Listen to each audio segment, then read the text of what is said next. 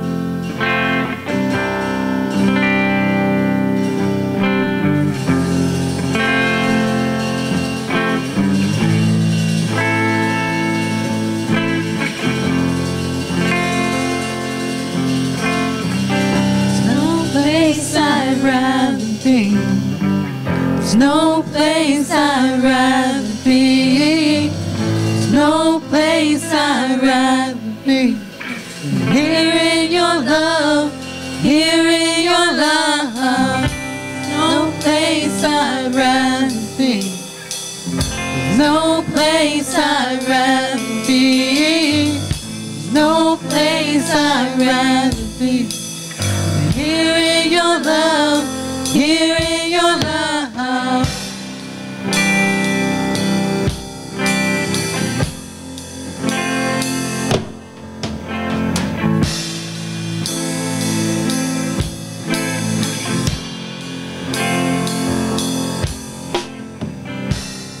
set a fire down in my soul that I can't contain that I can't control.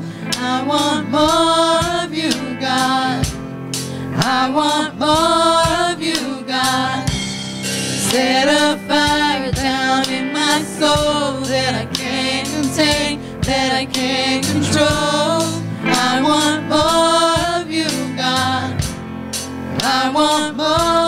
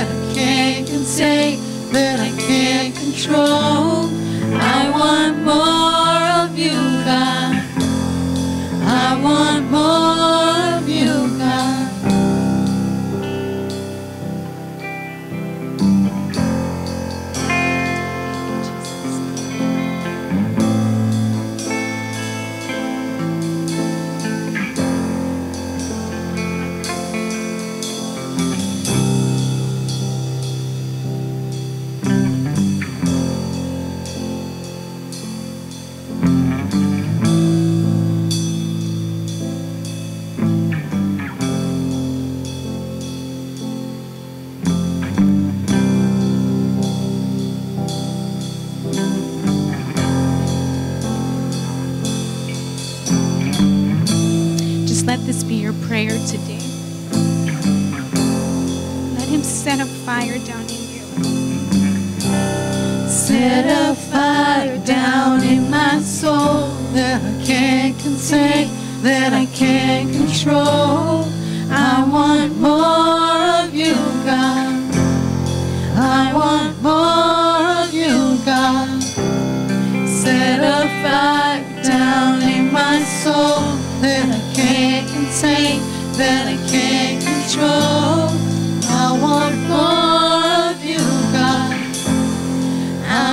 want more of you, God. Let it find down in my soul that I can't contain, that I can't control.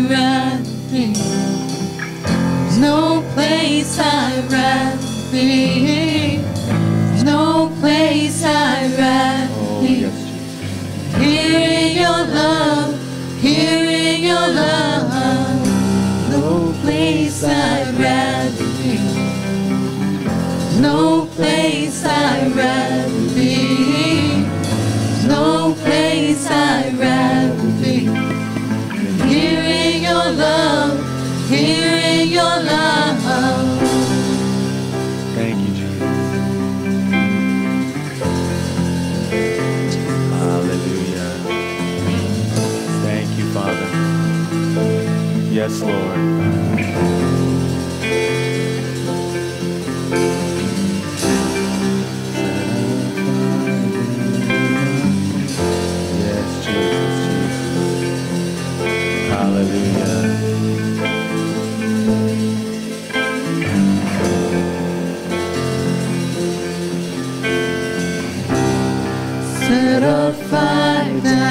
My soul that I can't contain, that I can't control.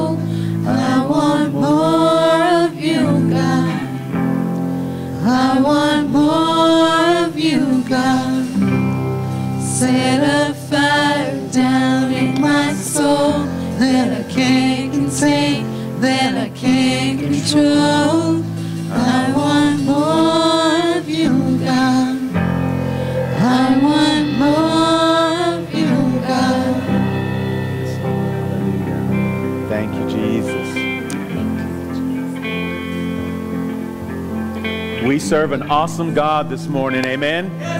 Hallelujah. Hallelujah. You may be seated. Thank you, Jesus.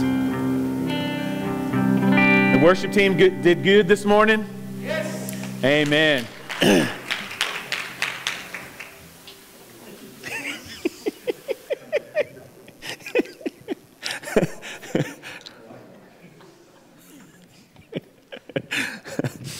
guess I have a habit of moving it up, huh? Get some lights there. uh, I'm really proud of the, of the worship team. Uh, a few months back, I was challenging uh, Stacy that uh, she needed to, to pick up some of the, the vocal leadership. And, uh, and let's just say she was stretched. And, uh, and so I, I was very pleased to see that she was doing the, the leading this morning. Um, we have some very talented young worshipers. Amen? Yes, amen. Amen. And uh, I'm excited to see how, how they are developing. A lot of people may not know the story, but several of, several of these were uh, very adamant that they couldn't sing, that they had no gifting, and uh, they were struggling. And, uh, you know, I just have this subtle approach of encouraging people.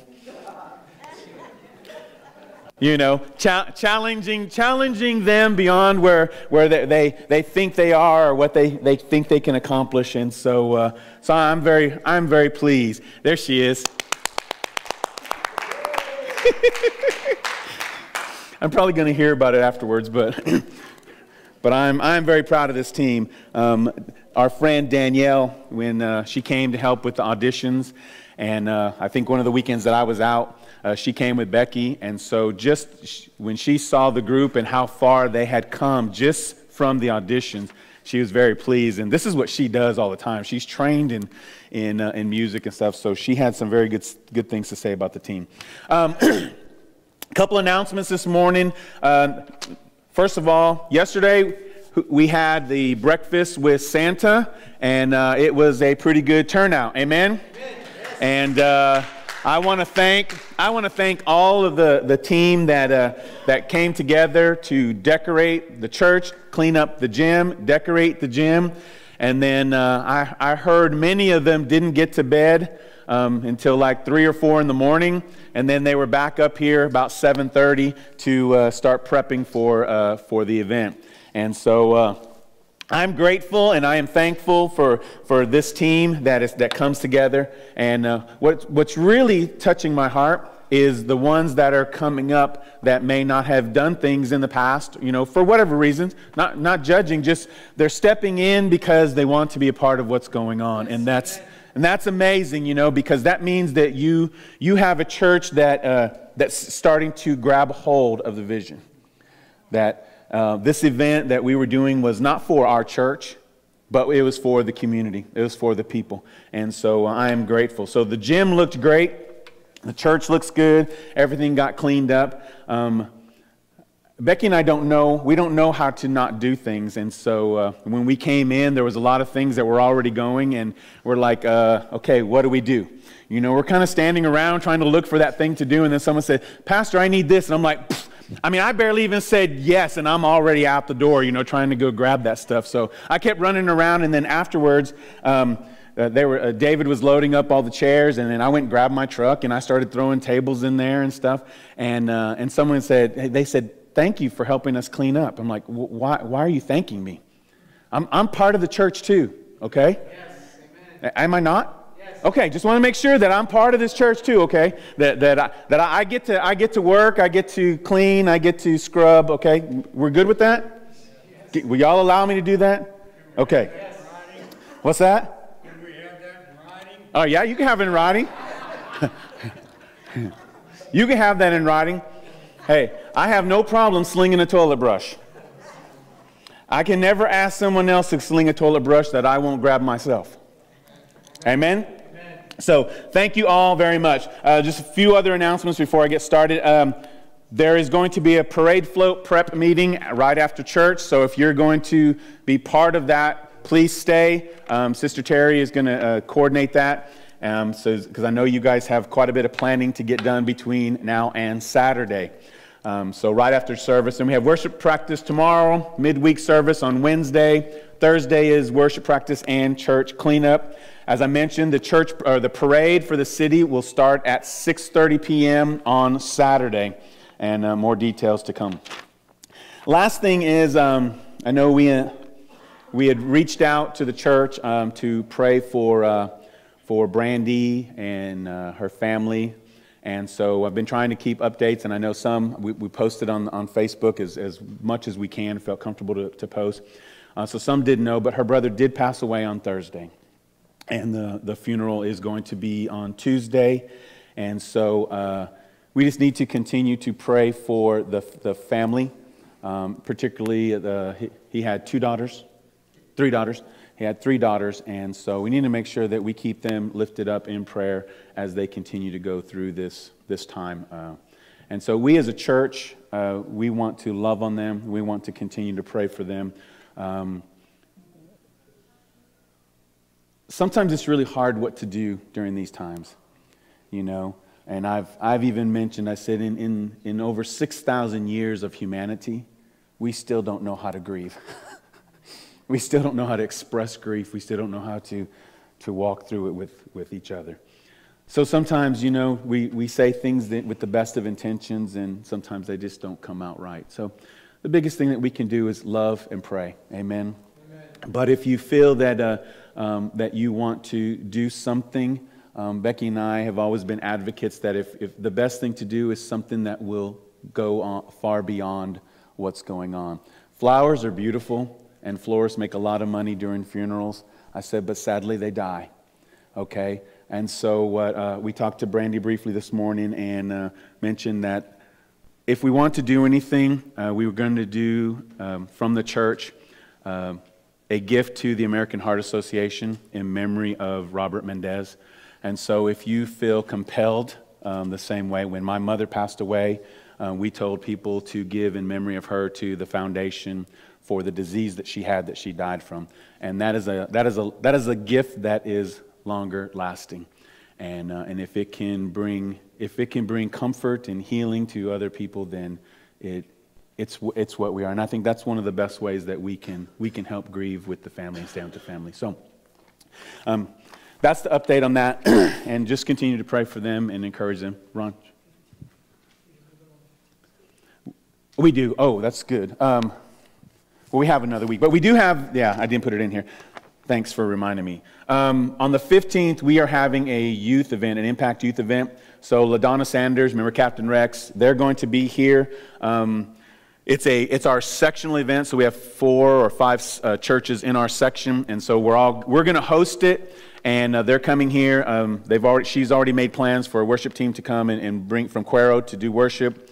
Uh, she's going to bring the word. We're, we're hosting it, so that is at seven o'clock on the 15th, Thursday the 15th. So uh, I've already talked to David, and uh, David's kind of on point on that since he's the he's our youth guy in training. And so he's already coordinated, I think, with Sister Terry, or, uh, and I asked him to coordinate with, uh, with Shirley. So if you need some more information, but um, we need to get as many people as possible to that uh, youth. And when I say youth, this impacts its student ministries. So that's any school age student is, uh, is able to be here. Too often when we say the word youth, we think of teenagers, but no, this is, this is everyone.